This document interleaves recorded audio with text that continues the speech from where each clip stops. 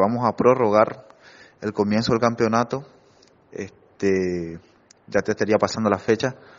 Y bueno, sobre todo porque estamos trabajando en el, protocolo que, se debe seguir en, en cada partido, en cada cancha y en los permisos.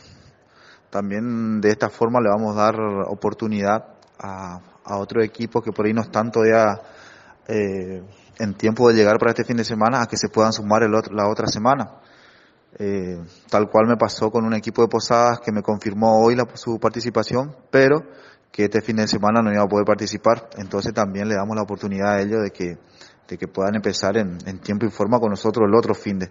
Así que bueno, Marce, este, agradecerte por, por la difusión que das y, y bueno, nosotros pensamos que esto es, que estamos pensando es para, para los chicos y ojalá se pueda, se pueda dar.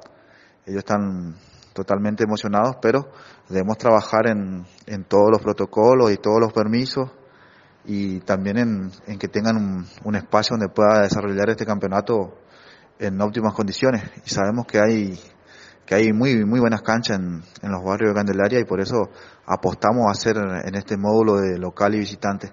Voy a estar pasándote más, más datos eh, a través de la, de la otra semana, así que muchas gracias por la difusión y, y muy pronto estaremos brindando más datos para, para con este campeonato.